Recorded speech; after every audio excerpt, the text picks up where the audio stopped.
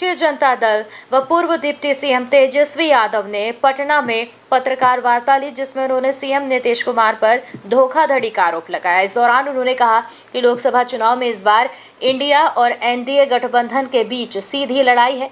RJD नेता तेजस्वी यादव ने कहा कि एनडीए गठबंधन पर संविधान को खत्म करना चाहता है। वहीं इंडिया गठबंधन संविधान बचाना चाहता है। सत्तर घंटे ईडी बैठ आए भाई लगभग उतना ही सीबीआई बैठ के आए हैं। मेरे पिता को जेल भेजा गया। मेरे हर भाई, बहन, सब पे मुकदमा है। रेड के छोड़ो, हर दो तीन महीने पे रेड पड़ते हैं। अभी भी हमारे नेताओं पे लगातार चुनाव के दौरान भी रेड पड़े जा रहे हैं। बिहार में अकेले हम लोग लड़ रहे हैं। हम वही तेजस्वी हैं जिसने इंडिया अलायंस बनाने के लिए पूरे देश में दौरा किया नीतीश कुमार जी के साथ। क्या बात करें, किस लिए किया था? नीतीश जी को मुख्यमंत्री किस लिए बनाया था हमने?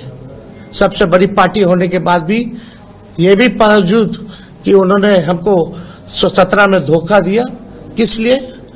भाजपा को भगाने के लिए।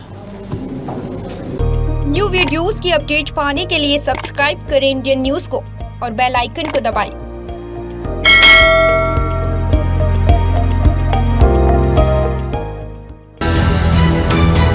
है इंदू ब्रॉडकास्टिंग प्राइवेट लिमिटेड और आप देख रहे हैं इंडियन न्यूज़। हर पल, हर क्षण, हर सच।